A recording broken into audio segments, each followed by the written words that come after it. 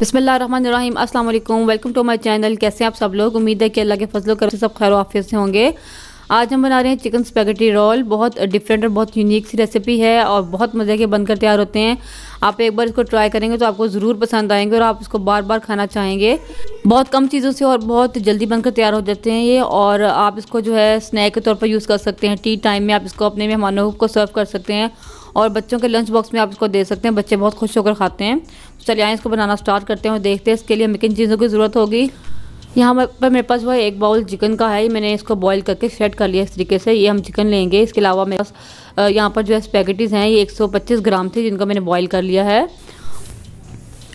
और इसके अलावा यहाँ पर मेरे पास जो है जो मेन इंग्रेडिएंट है इसका, जिसके बगैर बिल्कुल धुरे हैं। ये सबस प्याज है मेरे पास स्प्रिंग अनियन और ये दो अदद गड्डियाँ हैं प्याज की। ये मैंने सबस ग्रीन पार्ट और इसका वाइट पार्ट दोनों लिए हैं इस तरीके से। और इसके अलावा पाँच से छः अदद हमारे पास हरी मिर्ची होंगी, जिनको चॉप चॉप करेंगे। और इसके अलावा थोड़ा सा हैंडफुल जो है, एक मुट्ठी भर कर मेरे पास हरा धनिया है, ये इसमें जाएगा। और इसके अलावा जो है, मेरे पास यहाँ पर नमक है, नमक हम डालेंगे हसब ज़रूरत इसमें। मैंने एक बार ले लिया है, जितनी हमें चाहिए होगा मैं बता दूँगी आपको। उसके अलावा काली मिर्ची इसमें जाएँगी ब्लैक पेपर जितनी हमें ज़रूरत होगी वो मैं आपको बता दूँगी। इसके अलावा सात से आठ अदद या जितने आपको ब्रेड के स्लाइस चाहिए, वो हम लेंगे। मेरे पास यहाँ पर मिल्की ब्रेड थी तो मैंने वो ले लिया आप अगर सिंपल लेना चाहें तो वो भी ले सकते हैं। और इसके अलावा हाफ़ बाउल जो है माइनस का होगा हमारे पास यहाँ पर। यहाँ जितनी की हमें ज़रूरत होगी। सबसे पहले हम स्पैगेटीज़ को जो है चॉप कर लेंगे। हम कटिंग बोर्ड पर रखकर इसको चॉप करेंगे। और हमने इसको चॉपर में चॉप नहीं करना। चॉपर में बहुत ज़्यादा बारीक हो रहती हैं। अगर आप करना चाहते हैं तो बिल्कुल आप हल्का सा चॉपर चलाएँ, ताकि वो इतनी बारीक ना हो। तो इस तरीके से हम कटिंग बोर्ड पर रखकर इसको चॉप कर लेंगे। अगर आपके पास ये बड़ा कटर नहीं है तो आप नाइफ़ की हेल्प से भी चॉप कर सकते हैं इसको।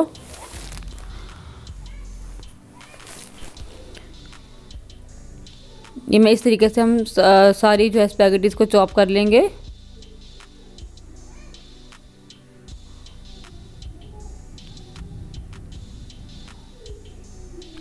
ये बहुत मज़े के बनते हैं रोल जो कि खाता है, मैंने जिसको बना कर खिलाए, उन सबको बहुत पसंद आते हैं। आप भी एक बार को ज़रूर ट्राई कीजिएगा, आपको ज़रूर इंशाल्लाह पसंद आएँगे। ये देखें स्पैगेटीज़ हमने चॉप कर ली है। इसी तरीके से मैं बाकी सारी स्पैगेटीज़ भी चॉप कर लूँगी। यहाँ पर मैंने स्पैगेटीज सारी चॉप कर ली थी और एक बाउल में डालनी है और इसके बाद हम यहाँ जो है अपना प्याज है, इसको हम चॉप करेंगे। इसको भी आपने इसी तरीके से कटिंग बोर्ड पर रखकर ही चॉप करना है।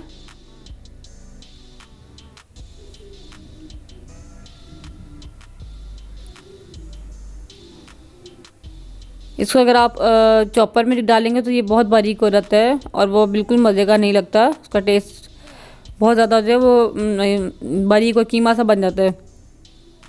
हमें इतना बारीक नहीं करना थोड़ा सा मोटा मोटा रखना है। तो इसलिए हम कटिंग बोर्ड पे इसको चॉप करेंगे। आप इसको नाइफ की हेल्प से भी चॉप कर सकते हैं। मैं इसको अब अच्छे तरीके से बारीक कर लूँगी।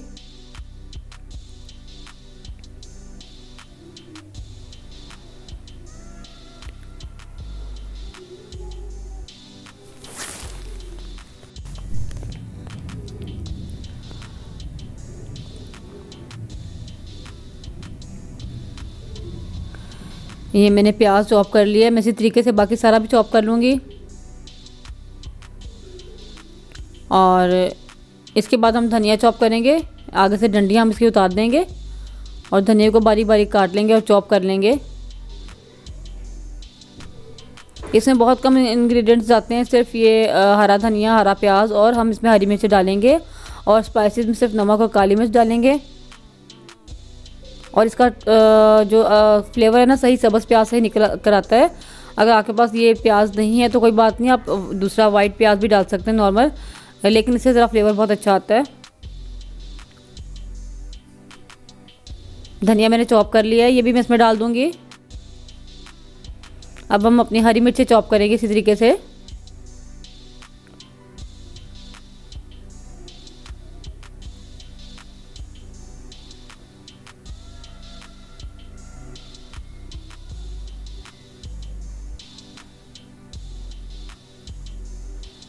हरी मिर्चों को भी बारीक कर लेंगे बिल्कुल, और इसमें डाल देंगे।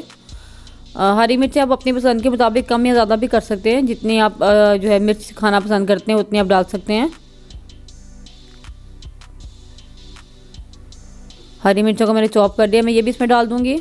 इस तरीके से थोड़ी मोटी मोटी हम चॉप करेंगे मिर्चों को। यहाँ पर मैंने सब कुछ जो है वो इसके अंदर डाल दिया है, और अब हम जो है चिकन डालेंगे इसके अंदर।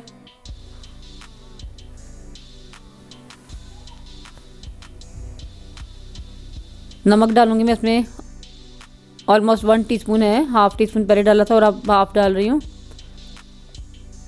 और ब्लैक पेपर इसमें मैं डालूँगी तकरीबन one teaspoon four two five tablespoon मेरे पास यहाँ पर माइनस है। माइनस हम देख लेंगे कि हमें जितने भी इस तमाम मटेरियल हमारे जुड़ जाएगा, अच्छे तरीके से इतना हम डालेंगे इसमें। इसकी कोई आपको क्वांटिटी मतलब कि ज़रूरी नहीं है कि आप इतना ही डालना है। मुझे यहाँ पर कोई कुछ कम लगा था तो मैंने थोड़ा सा माइनस और डाला ताकि अच्छे तरीके से बाइंडिंग हमारी अच्छी तरीके से हो जाए। इन सब चीज़ों को हम अच्छे तरीके से मिक्स कर लेंगे।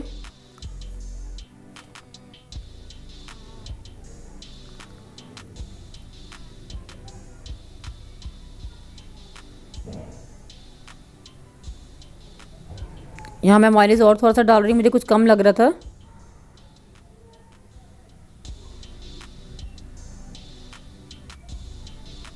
जितने में आपको लगे कि आपकी बाइंडिंग अच्छे तरीके से हो रही है और तमाम चीज़ें अच्छे तरीके से जुड़ गई हैं, मिल गई हैं तो इतना ही आप माइनस डालें।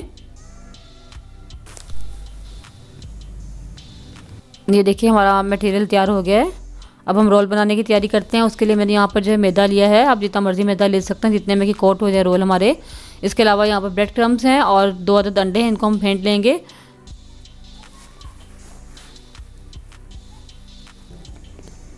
ब्रेड क्रम्स हैं वो सिंपल मैंने घर में बनाए हैं। ब्रेड को हमने ब्रेड का जो ऊपर वाले स्लाइस होते हैं इनके किनारे जो बच जाते हैं, उनको हम चॉपर में डाल के चॉप कर लेते हैं।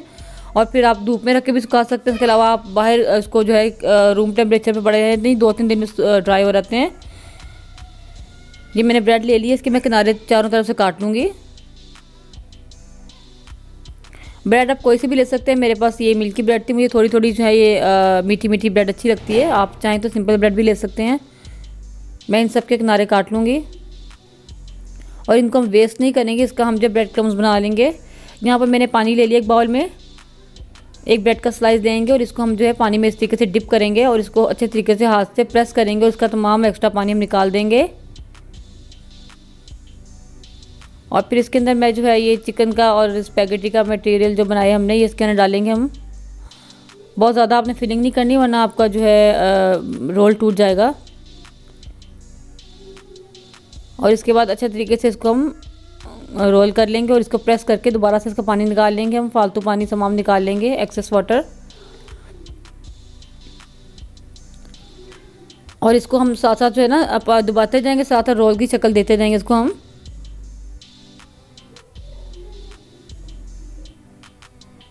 और इसके बाद मैं इसको मैदे में कोट करूँगी।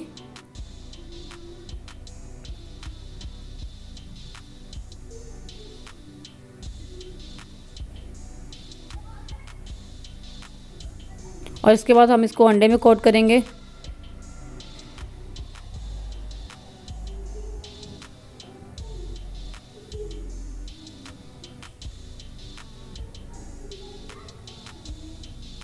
और इसके बाद इसको जो हम ब्रेड क्रम्स में डालेंगे और इसके ऊपर ब्रेड क्रम्स अच्छी तरीके से कोट कर लेंगे। अच्छा आप इसको इस तरीके से बनाकर अगर जो है आधे घंटे के लिए आप इसको फ्रिज में रख देंगे तो इसका टेक्सचर बहुत अच्छा हो जाता है। और, लेकिन अगर आप चाहें तो आप इसको, उसी वक्त भी फ्राई कर सकते हैं, कोई प्रॉब्लम नहीं है। और हम इस तरीके से बनाते रहेंगे और साथ साथ इसको जो है रीशेप करते जाएँगे। ये देखिए, इस तरीके से रोल बन गए।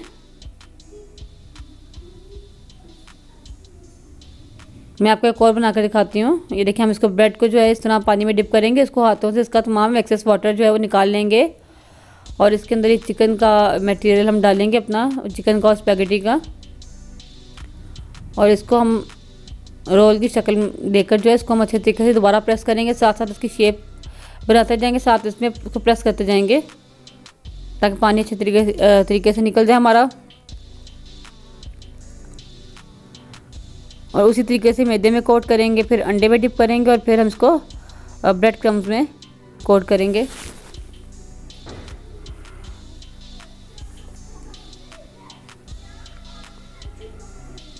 बाकी मैंने बना लिए थे, मैंने आपको एक और जो लास्ट रह गया था, मैंने कहा ये बना के दिखाती हूँ ताकि आपको पता चल जाए अच्छे तरीके से कि हमने किस तरीके से बनाना है। ये देखिए साथ साथ हम इसको रीशेप करते जाएँगे।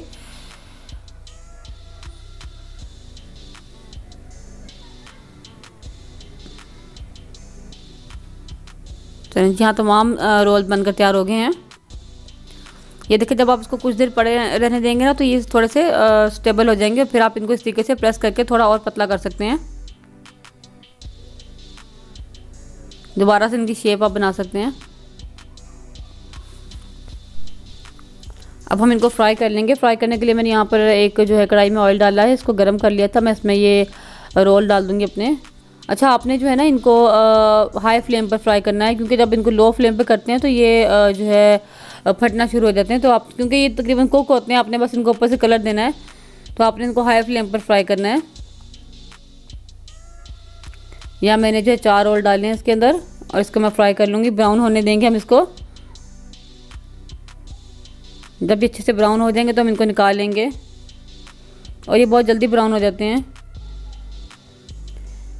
घी बहुत ज़्यादा गर्म भी ना हो, लेकिन ये गर्म हो और जब आप फ्राई करें तो आपने फ्लेम को हाई रखना है, लेकिन उससे पहले बहुत ज़्यादा गर्म नहीं होना चाहिए, क्योंकि ये फिर जाते ही जो है ना ऊपर से एकदम से ब्राउन हो जाएँगे। रोल यहाँ पर हमारे फ्राई हो गए, इनको मैं प्लेट में निकाल लूँगी।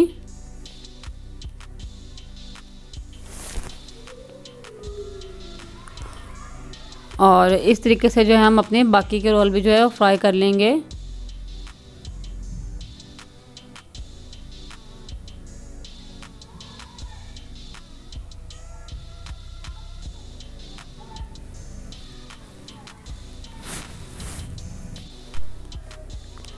बाकी रोल भी हमारे फ्राई हो गए, इनको भी मैं निकाल लूँगी।